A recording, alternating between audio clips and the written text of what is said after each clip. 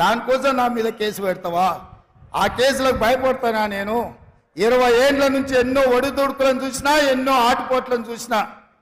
ఇవాళ మీరు అనుకుంటుందేమో గుజరాత్ నుంచి వచ్చి తెలంగాణ మీద పెత్తనం చేస్తామని. అందుకే నాలుగు కోట్ల తెలంగాణ ప్రజలకు మా యాభై లక్షల నిరుద్యోగ యువకులకు నేను విజ్ఞప్తి చేస్తున్నా ఇది తెలంగాణ పౌరుషానికి గుజరాత్ ఆధిపత్యానికి ఈ ఎన్నికల్లో పోటీ చూద్దాం. తెలంగాణ పౌరుషం గెలుస్తుందో గుజరాత్ ఆధిపత్యం గెలుస్తుందో నేను చూస్తా. మా రాష్ట్రం నుంచి వచ్చి నా రాష్ట్రానికి వచ్చి నా రాష్ట్ర నడిగడ్డ మీద నిలబడి ఈ రాష్ట్ర ముఖ్యమంత్రిని బెదిరిస్తున్నావంటే తెలంగాణ సమాజం ఎడ్డిదో గుడ్డిదో కాదు.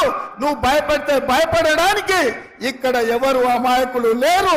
ఖబర్దార్ ప్రధానమంత్రి గారు మీరు అనుకుంటుందేమో తెలంగాణ గడ్డ మీదకి గుజరాత్ నుంచి వచ్చి బెదిరిస్తామని. ఇది నా ఊరు ఇది నా ప్రాంతం. నా ఊరికొచ్చి నన్నే బెదిరిస్తావా? నేనేం మాట్లాడినా రిజర్వేషన్లు రద్దు చేయొద్దని అడిగిన. రాజ్యాంగాన్ని మార్చొద్దని అన్నా. ఒకవేళ నీకు నచ్చితే నా మాట విను. నచ్చకపోతే నా ఇష్టం. రాజ్యాంగం మారితే రిజర్వేషన్లు రద్దు చేస్తానే ప్రజల్ని ఓట్లు అడుగు ప్రజలే తీర్పిస్తారు. ఎవరి పక్కన నిలబడాలను అంతే తప్ప మీరు ఆలోచన సో- చేయండి సోదరులారా.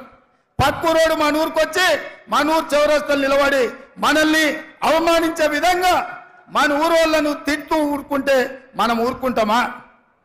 ఉంటామా? మనకేమన్నా విభేదాలు ఉండొచ్చు. మనకు భిన్నాభిప్రాయాలు ఉండొచ్చు. కానీ మన ఊరు గౌరవం వచ్చినప్పుడు ఊరంతా ఏకంగా కావాల్సిన అవసరం ఉందా లేదా ఒక్కసారి ఆలోచన చేయండి. ఇవాళ నన్ను ఒక్క తారీఖు నాడు అంటే ఇవాళ ఢిల్లీలో పోలీస్ స్టేషన్లో హాజరుగామని హుకుం జారీ చేసిన అమిత్ షా గారు. ఏం దౌర్జన్యమే ఇది? నేను ఇలా కోరుట్లలో మీటింగ్ పెట్టుకున్నా సాయంత్రం కుక్కట్పల్లిలో పెట్టుకున్నా ఆ తర్వాత శేర్లింగపల్లి పెట్టుకున్నా రేపు జగిత్యాలకు వస్తున్నా. నేనంట ఎన్నికల ప్రచారం అంతా మానేసి ఢిల్లీ పోలీస్ స్టేషన్లో రాజ్యాంగం ఎందుకు రద్దు చేస్తున్నారు రాజ్యాంగాన్ని ఎందుకు మారుస్తున్నారు అని అడిగినందుకు ఢిల్లీ పోలీస్ స్టేషన్లో ముద్దాయిగా పోయి నేను హాజరు కావాలనంట ఇదేనా మీ నీతి. ప్రధానమంత్రి గారు మీకు ప్రధానమంత్రిగా బాధ్యత ఇచ్చింది ప్రజలు. రేవంత్ రెడ్డిని పోలీస్ స్టేషన్లో వేయడానికేనా? ఇదా మీరు నేర్చుకున్నది. ఇట్లా భయపడి ఎంతకాలం మీరు రాజ్యాన్ని వెళ్తారు ఇట్లా భయపట్టించి ఆధిపత్యం చెలాయించి అన్యాయంగా రాజ్యాలు ఏలాలనుకుంటే నిజాం నవాబ్కి ఏం పాటికి ఏం గతి పట్టిందో కనుక్కోండి. రజాకర్ల పరిస్థితి ఎక్కడికి పోయిందో మీరు ఒక్కసారి తెలుసుకోండి. ఈ ప్రాంతం కొమరం భీం రామ్జీ గోండు సర్దార్ సర్వాయి పాపన్న చాకలి ఐలమ్మ దొడ్డి కొమరయ్య లాంటి వీరులు ఏలిన ప్రాంతం ఇది.